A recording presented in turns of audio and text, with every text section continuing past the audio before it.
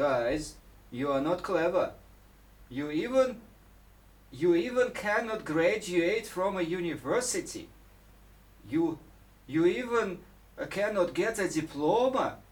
How can I take you for a job if you cannot finish a university?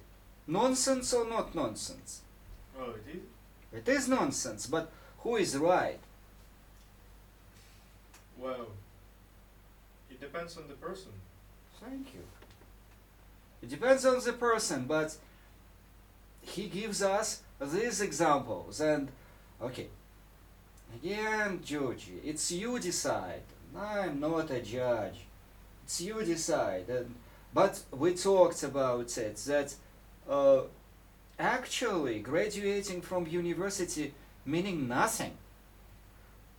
But we have a, a crazy stereotype, st- stereotype about it. It's it's the strongest stereotype. Uh, I I know the strongest.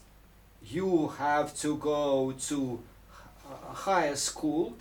After that, you have to go to college. After that, you have to go to university. And the best of all, you have to get second higher education.